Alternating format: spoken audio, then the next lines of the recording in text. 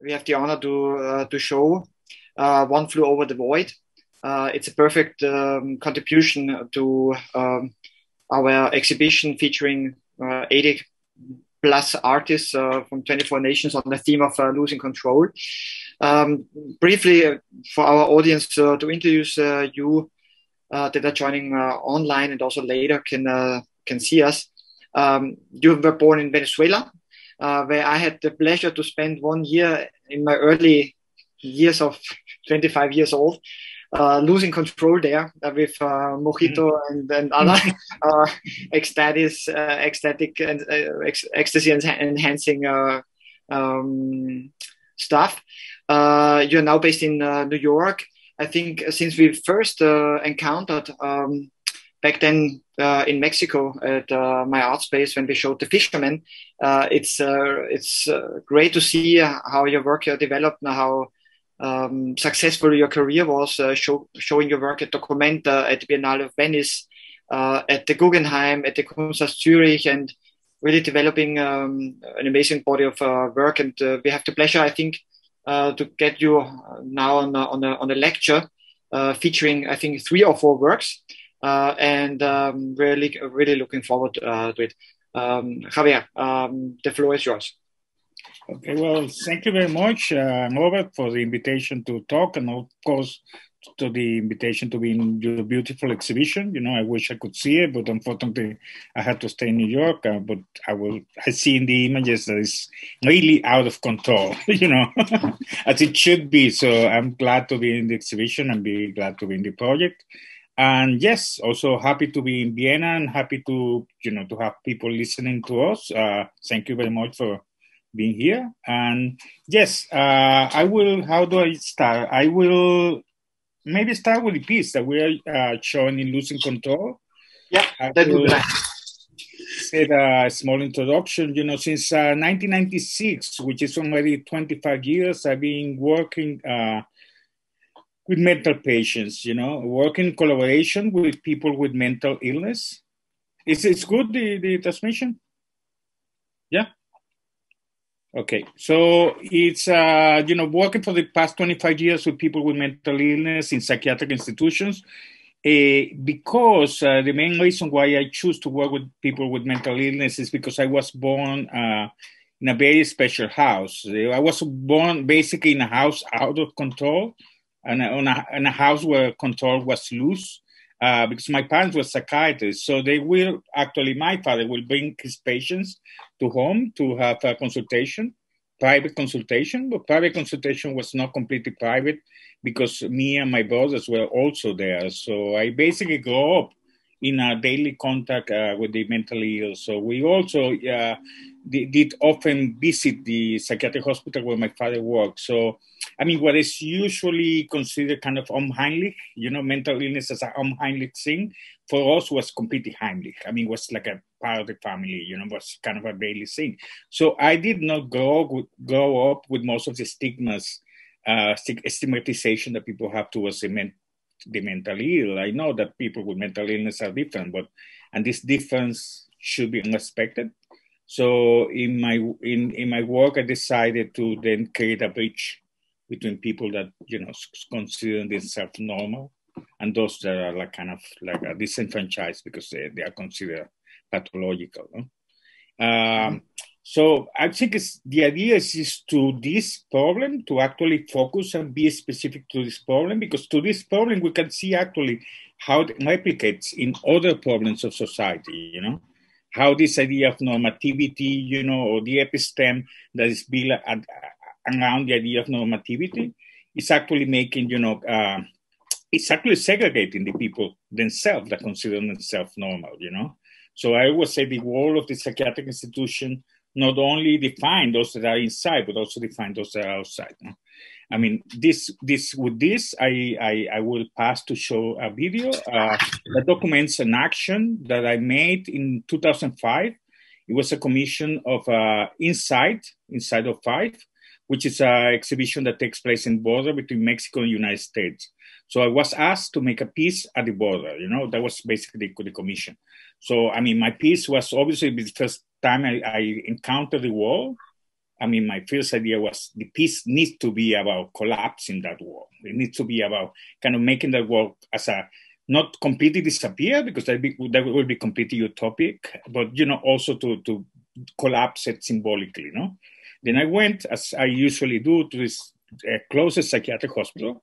So I went to Mexicali and and talked to the patients and start you know working with them in collaboration to see how could we actually eh, eh, you know break that wall and you know they would they want to make tunnels and things that were kind of very difficult to to achieve you know in terms of permits and so on so suddenly this idea came to me of having a human cannonball flying you know to the to the wall and then you know basically we invite the the you know the most famous human cannonball of the planet uh, uh, David Smith. I love the, his name because it's for me always this piece is a social sculpture, so it's nice to have someone named David Smith as the main actor. And uh, I brought him to the hospital, so he met the patients, and then we came up with this idea to make a show together with the human cannonball. Um, David Smith uh, was an American, and many people had always asked me why did I choose an American to cross the border between Mexico and United States. And I always say because I didn't want to risk the life of a, another Mexican doing it, you know. Because I mean, uh, being a human cannibal is a high risk uh, profession. I mean, 80% of human cannibals in history had accidents. So, I mean, there was always a risk that something would have happened. I mean, did you lose control? But it, it was all okay. So I, I will show I will show a clip. Share screen here.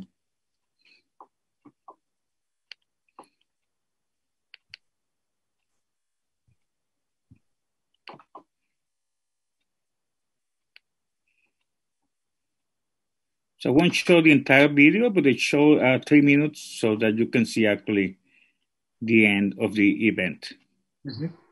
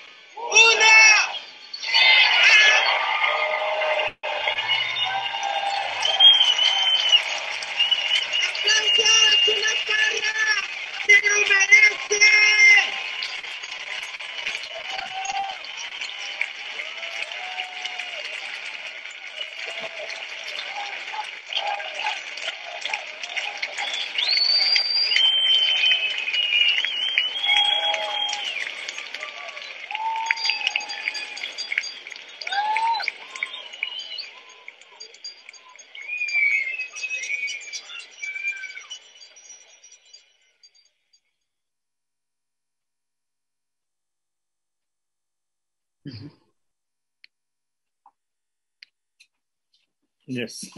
it's uh, it's it's, a, it's an amazing piece, and uh, our our visitors uh, really loved it, and they can still see it until tomorrow here at uh, the House of Losing Control. Um, you, would you like to explore a little bit more the the context, or continue with the the next uh, yeah. well pieces? You know, the, maybe maybe we can talk a little bit on, on each one. So I mean, yeah, it, it was a very interesting scene because I mean I we don't see now in the clip the entire scene, but you know there was a whole uh, uh, spectacle that was organized with the patients, and basically what they did is that they used the wall as a kind of a, like a metaphor for mm-hmm. their own sort of condition. You know, I mean not beyond the kind of geopolitical you know issues of the of the world in terms of the Mexico USA relation you know, they wanted to talk about this wall as the wall that actually separated them, you know, from the rest of the Mexicans, you know. I exactly. Mean, at the hospital, not actually, you know. So, so yeah. for them was about you know being treated as humans. So they choose this subject, and this is something they decide to do. The subject, I mean, I brought the human kind of ball, but then they wanted to do this animal kind of parade, you know, like a circus parade. So mm-hmm. without animals, they wanted to perform themselves as animals, so they wear masks and they basically, you know, have signs and they make a whole march in, in Tijuana, you know, mm-hmm. claiming for their rights, you know, like saying that they were also humans and they, you know, they so it was a combination of, uh, it was their impetus uh, to really stage this uh, procession and uh, the marching and then like this spectacle uh, that we know from Mexico and other uh, yeah. countries of this carnivalesque and also wearing the mask. How does that come from? Was that there? I mean, the, the carnival is, is, a, is a kind of like a constant element of my work because, you know, it also relates to autobiography. You know, when, when I go up, I used to go to these carnivals at the psychiatric hospital where my father works, you know. So I will see how, you know, it was really funny. Like they will change, you know, the back then the patients have uniforms, so they will trade uniforms of the patients with the white coats of the doctors. So, I mean, at least for a day, you could see that, you know, the house, the hospital was completely, uh, you know, had lost control, you know, just to go on with the metaphor. So for me, of course, that's the nature of carnival. So it's, it's a, it's, it's a big discussion whether people are, you know, some people are against carnival and some people are in favor because, I mean, carnival could actually help to kind of like uh, consolidate, you know, the structures of power. But for me, it's also have a it's actually the opposite. They have a liberation, you know, force, which I, I I use it. For instance, even even obviously did, did not help that much to change the hospital because it was only a few days. But you know, but I, for me, for instance, and for many other people, it helped because it actually introduced a seed of uh, anarchy and you know a challenge you know to power structures which i think is very important. I think art for me is that. Art for me is kind of you have a carnivalist aspect in that sense you know. Yeah. And also it it it, it helps you to to really enter another state no where which society would not allow otherwise. But uh, behind the mask within the carnival you can do st- uh, things you can get ecstatic that usually uh, our society would condemn. No? Yes, I mean the, the mask, of course, the mask is a kind of clear metaphor, but I think, you know, the carnivalists appear in different aspects, you know, which are not only, you know, the most obvious ones, which are the thematic ones, like the circus or the mask.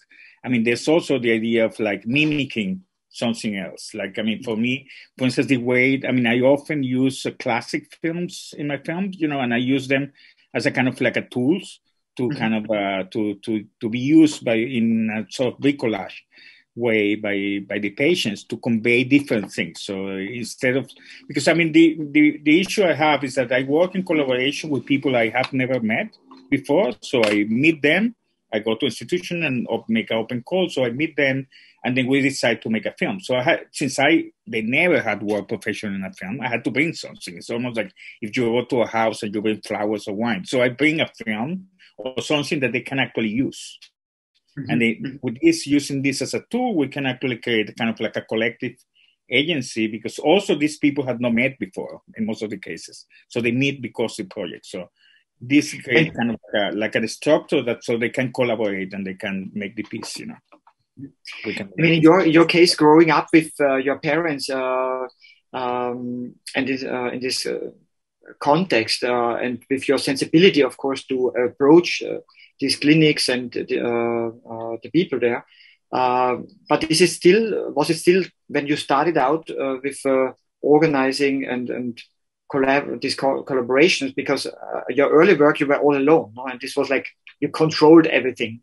Uh, now, now how how complicated was this in the first instance when you uh, searched these kind of collaborations and entered the clinics and really started to collaborate? Uh, um, and also how sensible, uh, you know, not uh, this notion of, okay, you're exploiting, you know, this situation uh, for your artistic uh, aim. Well, the, the first time when, when I started, I started an institution that I knew very well because I had actually helped as a kind of volunteer okay. in, the, in our workshops. Uh, so I knew many of the people, so it was very easy to to work with them. It's kind of a different uh, scene. So after a while, then I start like doing, you know, kind of replicating this model because you know back in the nineties, you will get nineties and two thousand, you will invite these biennials and these events, and you they all wanted to do a piece in each side, you know. So this mm-hmm. kind of site specific uh, interest yeah investment on site specificity was very heavy in the in the 90s and 2000s.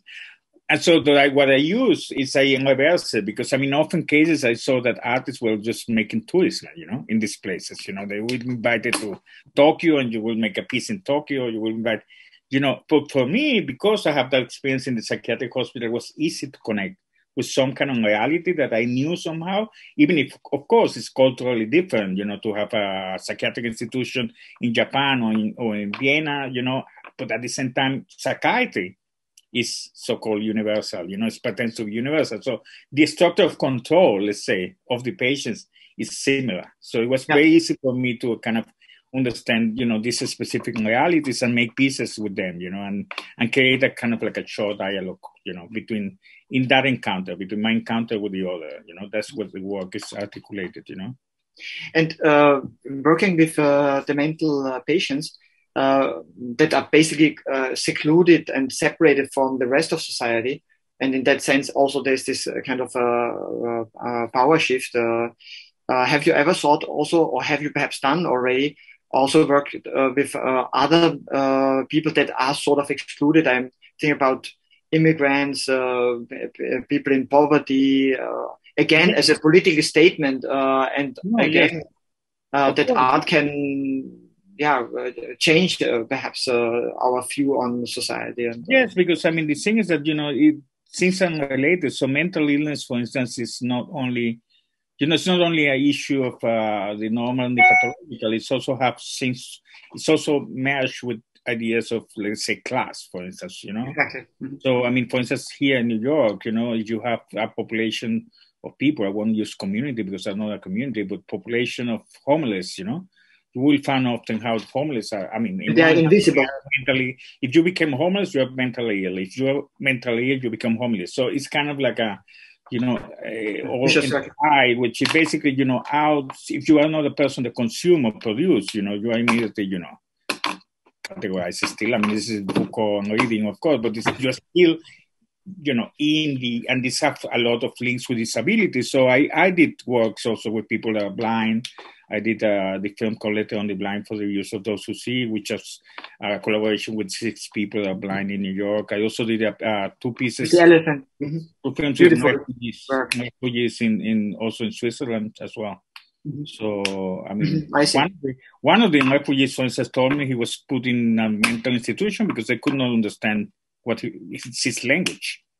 So basically, you know, he was, he was not drug in drugs or drug anything. Just they got him in a in a kind of a in a you know kind of a suspicious spot. So they arrest him, and because he couldn't talk, you know, they and he got into a crisis because he brought back memories of his. Uh, exile, you know, yeah. from Very Tibet. So, so that is kind of a example of how they, they merge. But uh, yes, each each piece is uh, specific. Maybe maybe I show another one. I mean, show. Mm-hmm. All right. This film I, I made in in Berlin, for instance, which was made with a. Uh, patients of a clinic. It's called Vivantes Clinic on the east of Berlin, you know.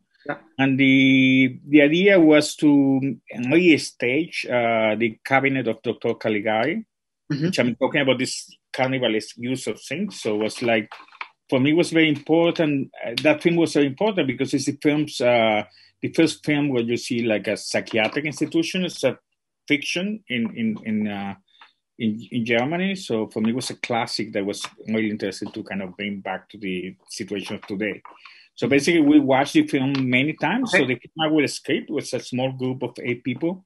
Mm-hmm. So they came out with a script with, with a new story, you know, because I, I also selected a location, which is the Erich Mendelsohn uh, Son, Sonnen Observatorium. Okay. We, you know, fantastic expressionist building. So I, I, for me, it was very obvious. I yeah. mean, yeah, Caligari was even made in Potsdam, and this is a building of Potsdam that was made exactly the same year than Caligari and it's the two kind of iconic, you know, reference of expressionism in visual art. So I mean, to put them together was natural, but for them it is kind of triggers something else because it triggers science fiction. So they took Caligari, which will be like a more like a horror film, horror noir film, and they mm-hmm. brought it to the context of science fiction, and they made it into a story of an alien and a psychiatrist. Okay. So it's an encounter between an alien and a psychiatrist. Of course, the alien became kind of the alter ego of the of the patient, but then also the psychiatrist is not a psychiatrist; is a patient at the end of the film. So mm-hmm. they, they have that twist that they actually got inspired from Robert Wiene's uh, film, that the psychiatrist is also the, the patient. But then and with the, with the sleepwalking, no? Uh... Yeah, with sleepwalker. But I mean, what it, what we did here, and we introduced it, and it become a constant in many of my films, is this idea of doing the collaboration with the patients where they act. I mean, they are always the actors of the film, but they also, in these cases, they are also spectators of the film. So you see them actually watching the film that you are watching. So this, again, this is another Carnavalesque or Van Gogh game between, you know, who is watching whom, you know, and then it kind of uh, destabilizes, you know, the kind of narrative or sta- uh, the stability of the narrative of who's mentally ill or who's normal, you know. Yeah. Because uh, many people say, oh, well, they, they are acting. Uh, actually, most of the times in the, my films, patients are acting as patients. So there's always a little time slippage. They act like, in this case, they act like patients of the 1930s. So, I mean, it's blurring, yeah. Appropriated because the context of the race of the Nazis and so on. So, which Caligari kind of prefigurates. But uh, but then, then you cannot say anymore because people usually project when you see like someone with mental illness, you project this kind of visual visual thing, which is kind of like a construction that had to do with physiognomy and and so that people are supposed to look crazy, you know, mm-hmm. as is you know. As if you have cancer, you don't look like you have cancer, or you don't look like well, maybe you do. I mean, there's a certain stigmatization of cancer too, but it's not as common. You won't see, oh, someone looks diabetic, you know but people yeah. say someone looks schizophrenic. So there's that look which we want to destabilize by actually embodying it as a fiction, you know. So there's yeah. this fiction of the and to have like a, a, cancer, it's not as taboo as to be mental ill. Ill no, no, like, but, it, but it's been. I mean, AIDS was, you know, um, of course. That was, uh, yeah, in the illness, illness and its metaphors. You know, I mean, this, this, of course, uh, a but not nothing as as as uh, today. You know, nothing as bad as mental. Right. even have it now with uh, COVID that uh, this is separating societies. No. Yeah. Yeah. Uh huh. Okay, so let's, so let's uh, have a look uh, at uh, the cabinet. The cabinet is yeah, Dr. Caligari. Yeah, my film is called Caligari and the Sleepwalker. Okay. And in total, it's like a well, half an hour, but we'll just show one clip of five minutes. Mm-hmm.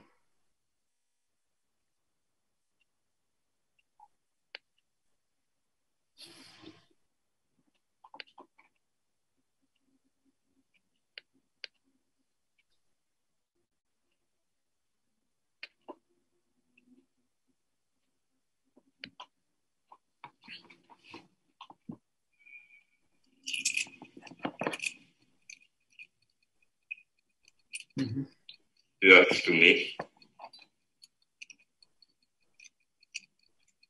Ich bin Dr. Caligari. Ich bin ab jetzt dein Herr und Meister. Du wirst mir zu Willen sein. Folge mir.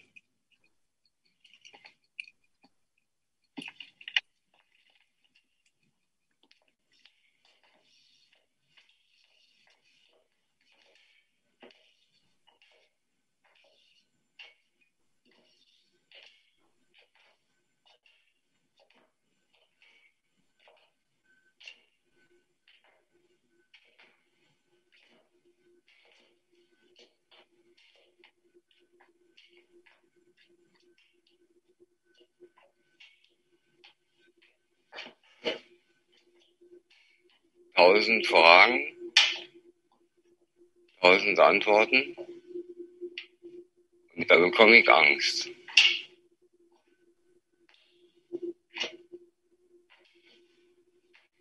Meine Psychose macht sich so bemerkbar, dass ich dann in einem anderen Film bin.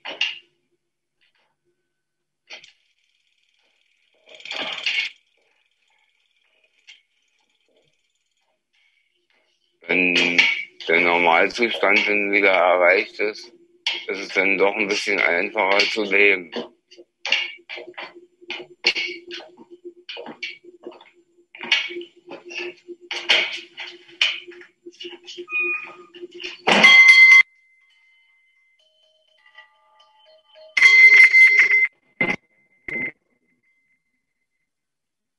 Was siehst du in diesem Spiegel?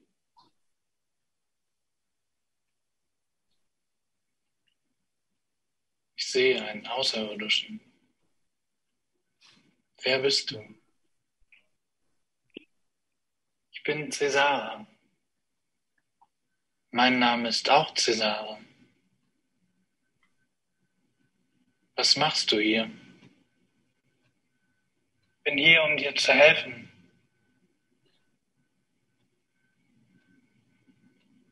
Die Person hinter dir kann uns beiden helfen. Du stehst unter Caligaris Kontrolle. Ich glaube an seine Heilungsmethode. Ich würde gerne aufwachen. Er ist kein Psychiater. Er kann dir nicht helfen. Was ist er dann?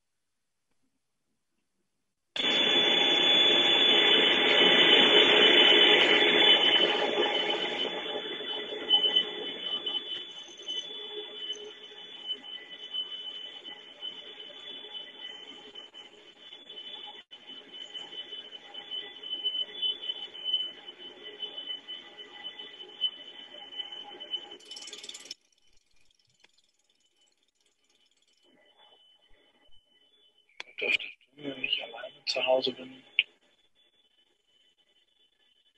Cesare, spiele, der hört ja auch Stimmen. Hat wahrscheinlich dann irgendwas mit der Krankheit zu tun. Dass die beiden Personen seine Stimmen hören. Und manchmal glauben sie seien ein Außerirdischer. Ich glaube schon, dass die Stimmen, die ich ab und zu höre, gut sein können. Im Moment ist es halt so, dass sie nicht mal negativ sind, sondern dass sie mich eher kommentieren. Jeder Handschlag und jeder Fußtritt halt irgendwie beobachtet wird.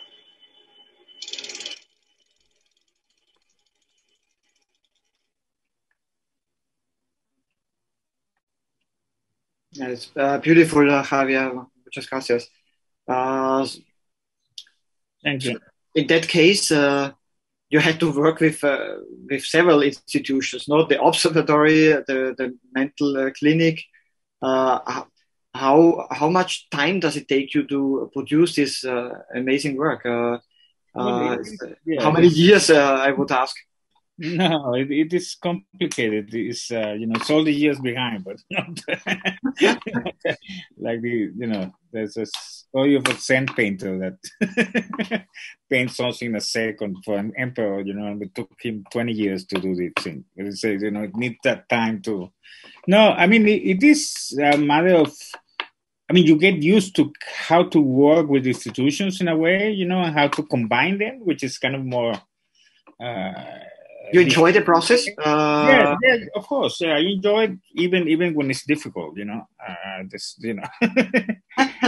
I mean, it, it is part of it, but it's funny. For instance, one of the things with the astrophysics, uh, this the Mendelsohn Tower. I mean, the the Einstein Turm is still used by the astrophysics uh, department of Berlin. You know, and it's a really beautiful story because it was created in the in the 30s. So I mean, no, it was, it was created in, in 1920. Yeah, 1920. So in at the time the, film, the original film was uh, produced. Yeah, it, it, the, no, no, the, the the the building, the Einstein. Yeah. Yeah. The, the same time of the film, 1920. So mm-hmm. when they they created as a homage to Einstein, and actually Einstein came and they said that they didn't, they, he didn't yeah. like make an homage to him, but he only said when they asked him, they say, "Oh, it's too organic" or something like that. It's very organic. so, but anyway, the, the, of course the Nazis, you know, uh, wanted to close it, so they hide the the the sculpture of Einstein, you know, in the basement. You know, oh, wow. And they they you know they were able to keep the building, which is great. You know that they didn't destroy it because it was actually in use. So they use it. They they still use it. They use it now to test filters. You know, I mean, they don't use it to see the sun anymore because it's not powerful. And Berlin also, you cannot see anything so now. You but uh, you were the only artist that uh, used the building so far, or do they have a program? yes, for a film, uh, yes. I don't know any other artists that have used it for film. I know they're photogra- photographies, you know, they're very beautiful photographs, you know, yeah. taken by, I, I forgot their names. The main kind of uh, architect, architectural photographer, very nice pictures of it. But uh, I mean, using the building was not difficult in the sense. I mean, it's a UNESCO protected thing, and they trust us. So I I was very, you know, we had to make everything without touching the building. Eh, we had to light, you know, the building from the outside with like a, a structure scaffolding, you know, like a Shanghai pica they call it. So to light it because you could not attach anything, you know, to yeah. the walls or nothing like that. The only problem I have was, and it had to do actually with Austria, is that I put make a billboard calling the tomb a, a Narrenturm as a kind of, yeah. you know, kind of one reference to your hospital. So this is the astrophysics didn't like. That's the only thing they didn't like that I was named I, uh. I can imagine, so, but the Narrenturm in Vienna, I think, would be uh, an amazing place for you to explore. Yeah, I will. I would love to do something. yeah, we have to make that arrangement uh, really, um, and it's. Um, again, you know, it's very cinematographic, you know, with the black and white, the light and the dark, uh, and, and also the, the selection of the, uh, of the of, of the actors. Uh, how how do you deal with uh, that? Uh, also with the cinema. I, I don't I don't do any casting. I mean, any you know beyond the beyond what I said before. I make a you know what how is the process start? Is I select an institution, so I contact the institution Mm-hmm. I mean, uh, contact the people there and to get, you know, a meeting with the director, the CEO, you know, whoever, public relations. And so I propose my project. I show previous projects, and usually, you know, I get like a positive response. So I make an open call, mostly with outpatients, even if I had worked before with inpatients, but it gets more complicated because it, films can only be done in the institution and so on yeah uh, and and people obviously they don't stay you know anymore i mean as when i started my practice people would stay longer time in the hospitals but now they don't stay long enough so i work with mainly with outpatient uh, and a patient population and i make open calls so whoever wants to join in you know is basically admitted in the film so in terms of the casting I mean, with Caligari, it was kind of obvious. The oldest person had to be Caligari, you know, because you know everyone else was younger. And then Cesare was like uh, Henry. Looks, I mean, would you see him, him without makeup and then with the makeup? Amazing characters. He was, he was really similar in the in the body body type to Cesare, to the uh, sleepwalker of the original film, you know. Mm-hmm. So apart from that, I don't make a casting. It's, it's themselves. They want to say, I want to play that or I want to play that. And they, because they also work at the script, they, they kind of escape their own kind of appearance, you know. And in the in the in the process of developing your project, is the cultural difference? You know that it's, for example, the Cannonball project in Mexico. Okay, vámonos, no lo hacemos. Uh, much easier than, for example, in a context of uh, of Germany where you perhaps the rules and regulations. Uh, I don't know. It's uh, no, no, no, no. The more complicated to get crazy uh, with your uh, it's all very specific. I mean, as specific as you can say, you know, may I mean, and after living in Berlin, you know, because I, when I did that piece, I was not living in Berlin, so I, I moved after to do the DAAD, and I lived there three years. I realized how east east my piece was, you know. Before, Okay. But there was something that was told by by by my German friends. They said your film is very east because the people were from the east. So I mean, they were like, I mean, some people like, like Henry was young enough that he didn't have necessarily a tie to that history, but. Hanky, Hanky did. I mean, he was like a Eastern, you know, Berliner. Uh-huh, So okay. I mean, for him, was like a kind of like a also the. Oh, wonderful, and wonderful. There was all these elements of uh, and the Caligari also this kind of tension that Caligari have that is like a pre pre pre Nazis, you know, pre fascism, you know. So that is, I think, it's in the film. So definitely specific, no, definitely there are specific things. I mean, but obviously when I brought Caligari, it, it make it specific. But sometimes what I do is I bring elements that are not specific, but then they become specific in the like the human cannonball. I mean, the human cannonball is not necessarily a Tijuana scene. I mean, as a matter of fact, we have like over three thousand people watching that event because they had never watched a human cannonball before in their lives. So it was I I, Yeah. I don't think there was ever a human cannonball. Is is uh, humor a factor in your work? Uh, because I see also uh, with the fisherman, but also with uh, the cannonball, a, a, a take on very serious matters, but on a on a with a little of a bit of a smile. Also, is this uh, humor is a factor? Yeah, there's humor. I mean, some stuff is very dramatic and serious too, you know, but this is also humor, and I think have to do with again with the so carnivalesque, you know. Mhm, Of course, yeah. And, I think we should uh, also enter the, the third, and I think you even have prepared a fourth, a fourth piece because uh, time is running. Um, I think uh, Nosferatu, no? Uh, yeah, exactly. The, The undead, uh, the undead is another example of your. yeah, exactly. Nosferatu and Uh, the losing control is a, a subcontext. Yeah. So there's yes, a piece I made in Rochester, and it was filmed in Rochester, and it was filmed in the Kodak factory, and it was filmed in the theater of the Eastman Theater. So it's, So a very specific place again, not like the the place uh, it's, is it's a film about film because I mean Rochester as a city is uh, really tied to the history of, of Kodak, you know, because Kodak changed completely the city, you know, the when it was founded at the beginning of the 20th century. So, and the loss of Kodak again, no? Yes, And- exactly. So it is it is the film that's in a in a way more tautologic that I have ever done. It's really a film about film, but of course it's about also about mental illness as well. So Mm-hmm. so it's again like a half an hour. They're all they're all short films, but I'm I'm showing of course only only a, a clip Clip. here.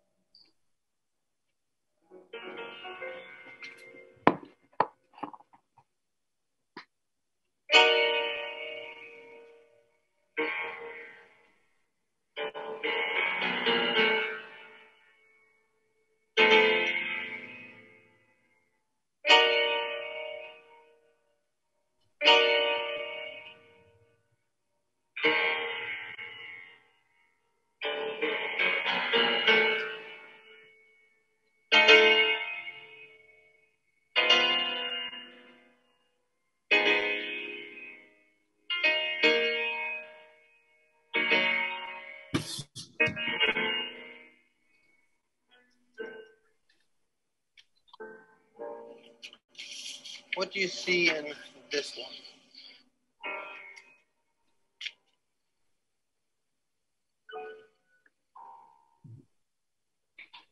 I could see a bat, a butterfly, possibly even a moth, something of that uh, nature.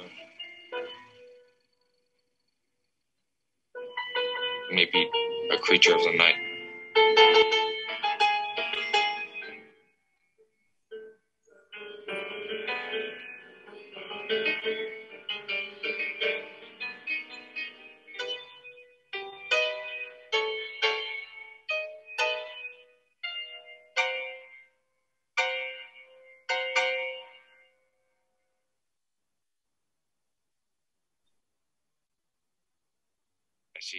Very lonely person.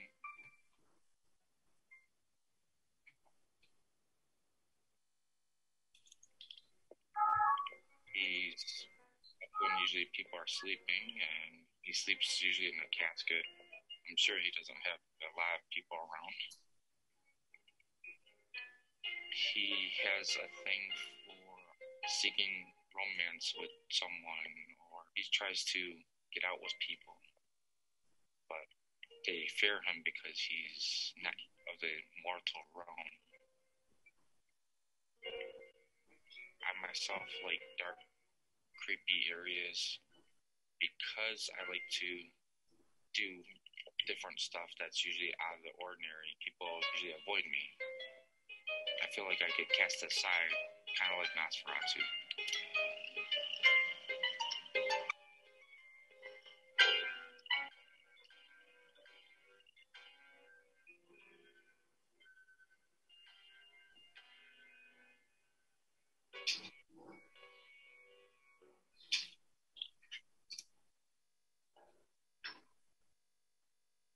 Think they would love to lock us all away in a closet forget we exist.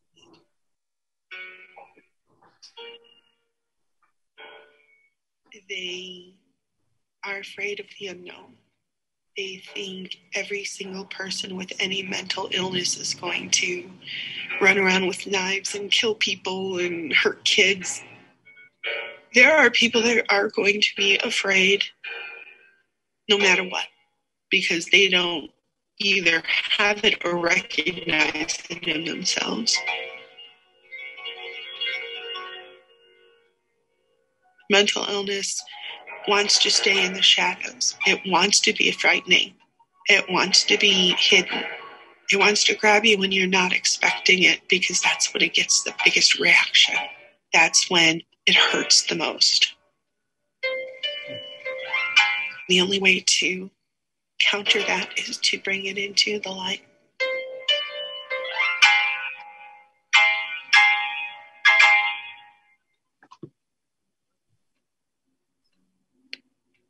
Yeah, amazing film again. Uh, thank you so much. Um, hmm.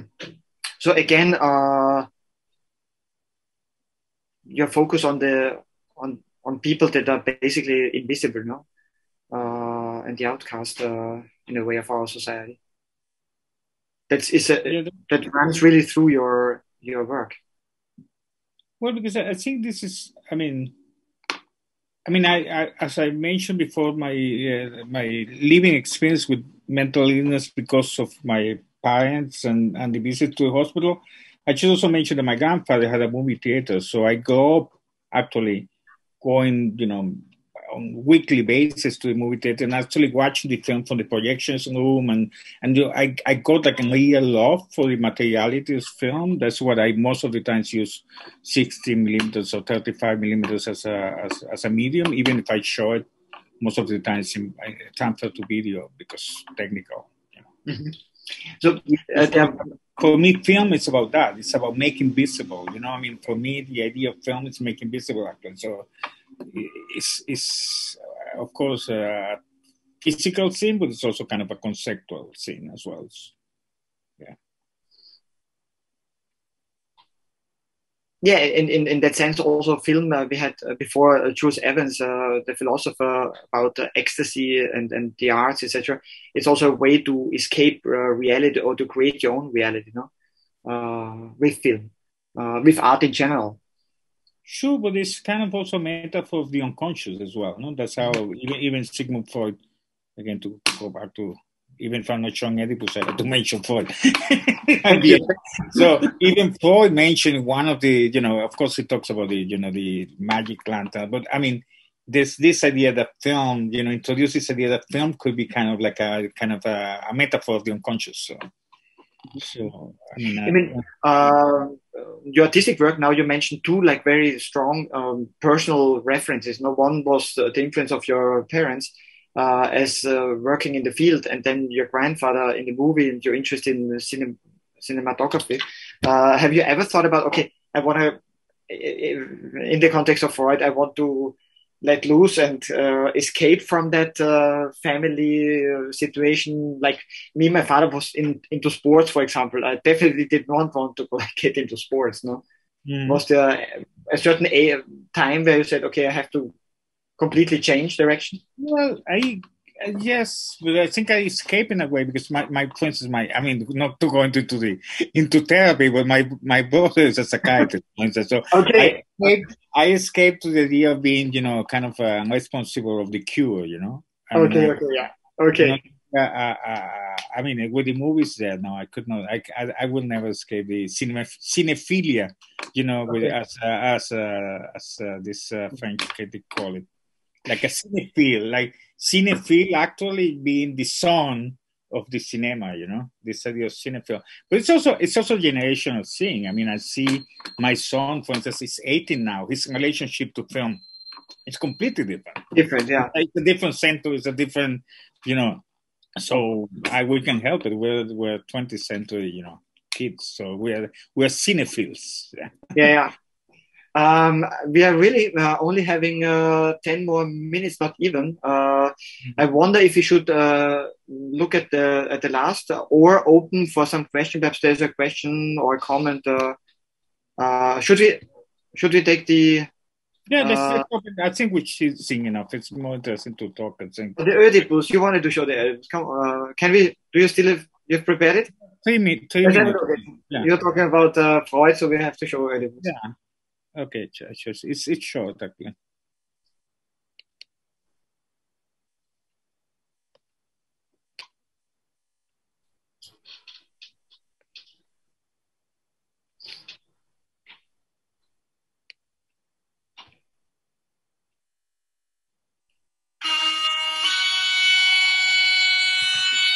Oh, the generations of men. All your lives I find they come to nothing.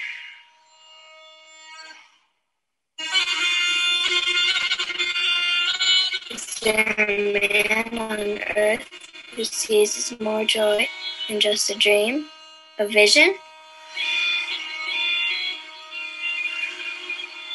And the vision no sooner dawns than dies blazing into oblivion. My God, I stand revealed at last. Cursed in my birth, cursed in marriage, cursed in the lives I cut down with these hands. And the voices I hear, are they real? You are my great example. You, your life, your destiny. Oedipus, man of misery, I count no man blessed. No longer will you see the pain I've suffered all the pain that I've caused.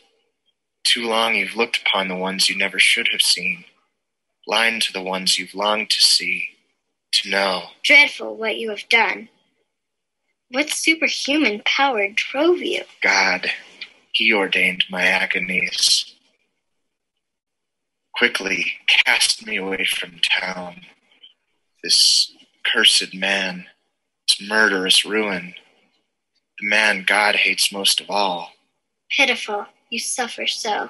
You understand so much. I wish you would never know. Don't lecture me, voices. No more advice. If I don't have eyes, I can't find my way into the spirit land. I'll have to wander forever between the winds. How could I look at my father when I die? Or mother so abused? No, not with these eyes. Not this town either. All men must cast me away.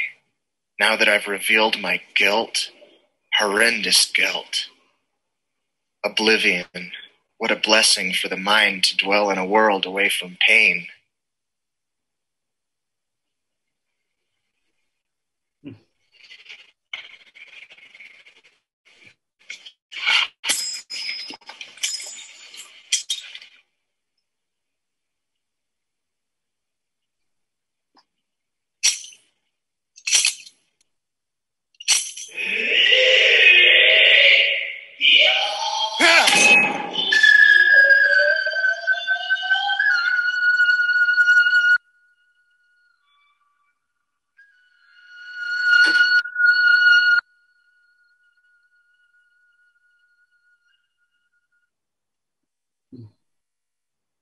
Wow.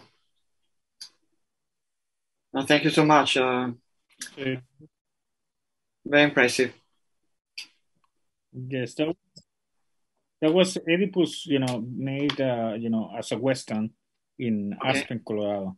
Yeah. By, by patients with uh, Grand Junction, Colorado. So they are from, obviously from the West, so they they adapted. You know, again, I'm talking about specifics. I bring something that it's like a big collage. I bring Oedipus, you know, X and uh, to the context of the West. So they made a reading of it as a, as a Western.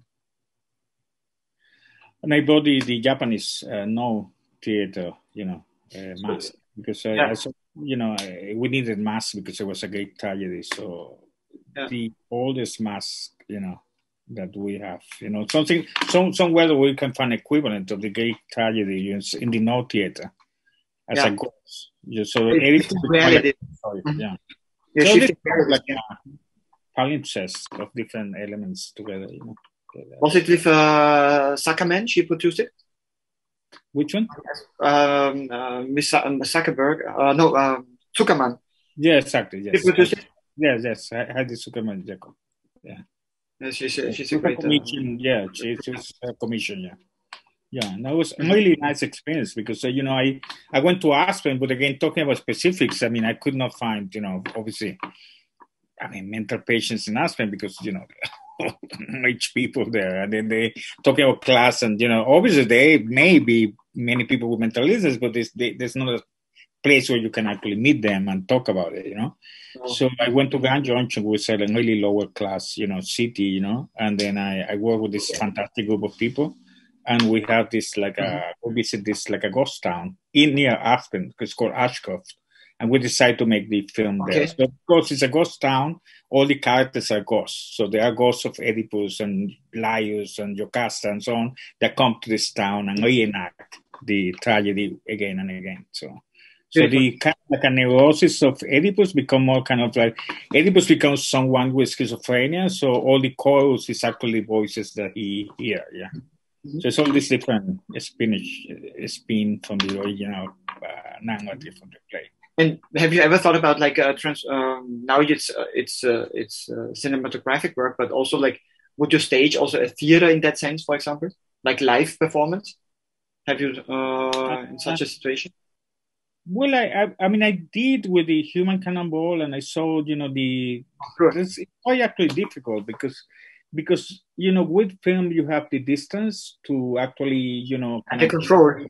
challenge the narrative. Well, but this control is it's also about about losing the control of the spectators the projection, you know, that viewers have on mental illness, because you can actually, you know, uh, create certain kinds of alienation effects, you know, to talk about Brecht, and also the idea of alienation to reverse it, which in in the open, you know, in the in the in the in the actual theater, you know, Real in the real. Uh, difficult for me, but uh, because not difficult.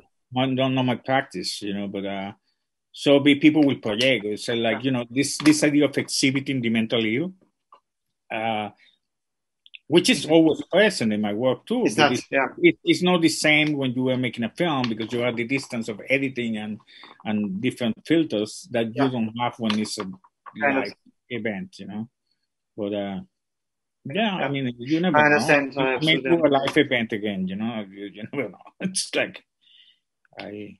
It's all about having. uh, Javier, uh, we have to come to a close. Uh, it was really a fantastic journey you took us with. Uh, really, thank you so much uh, for showing uh, the, uh, the cannonball, the, the bala uh, here at our uh, exhibition. And uh, I really uh, have to make a, a big effort to, to bring you to Vienna. It's uh, it's your city, I can promise you, uh, for the work uh, you're doing. And uh, thank you so much. Estamos en contacto. I Saludame a Nueva York. I am. I'm Y ready. nos vemos. Yes, I'm ready to be there. Muchas gracias. Okay, gracias a ti. Thank you. Thank you so much. Gracias. Nos vemos. Bye bye. Bye.